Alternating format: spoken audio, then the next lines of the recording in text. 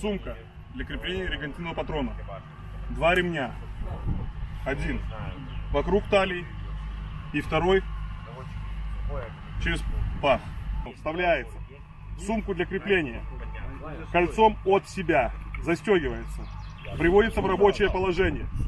Дергается за кольцо вверх и от себя. Начинаете дышать.